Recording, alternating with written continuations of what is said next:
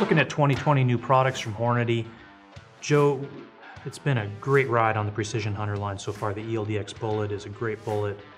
One of the requests we've had ever since we started was I'd like something a little lighter in 300 Win Mag. You know, we, we did the 200 grain ELDX, it's a great round, but we've had a request for lighter. Tell us about the new addition this year.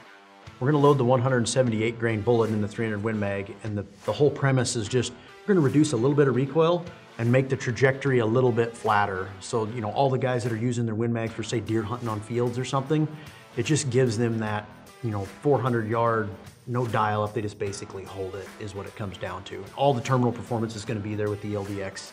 Um, the consistency in the load, everything that we've done with all the other ones, accuracy first, applies to this load as well. So driven from customer demand, we have a 178 grain offering now in the 300 Win Mag and Precision Hunter ammunition.